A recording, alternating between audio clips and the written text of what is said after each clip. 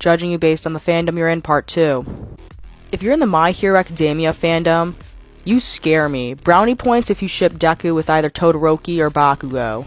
I also know for a fact that this is exactly how you look at parties. You don't just like this show, you live, breathe, and eat by this show. You've also read at least one fan fiction of these characters. If you're a Markiplier fan, props to you. You're a wonderful person. You probably looked at him as like kind of a father figure throughout your childhood, and that's okay. We all did.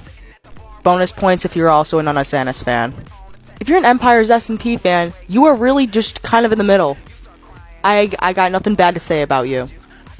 Now, if you're a Hermitcraft fan, once again, you are probably the most neutral person I've ever met in my entire life. I have nothing bad to say about you. If you're a Supernatural fan, your favorite character is either Dean or Castiel, and if they weren't your favorite, then you were shipping them, and if you weren't shipping them, then you wish you could be with them. You also most likely had an emo phase, and the favorite music choices for you would be either Pierce the Veil or My Chemical Romance. This is your favorite show, and you made it everyone's problem. You're cool though, because this is also one of my favorite shows.